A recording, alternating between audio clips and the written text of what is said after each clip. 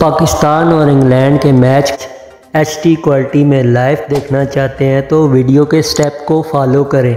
Channel पे अगर आप नए हैं तो वीडियो को लाइक करें, शेयर करें और सब्सक्राइब कर दें। साथ बेल के आइकन को भी दबा दें और पूरा मैच एचडी क्वालिटी में लाइव एंजॉय करें। प्ले स्टोर से जाके आप एयर वाइज ऐप डाउनलोड कर लें। उस पर तमाम मैचेस लाइव दिखाए जा रहे हैं, वो भी एचडी क्वालिटी में।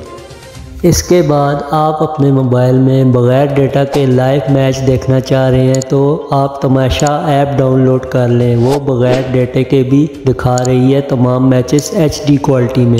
वीडियो को लाइक करें, शेयर करें और सब्सक्राइब कर दें।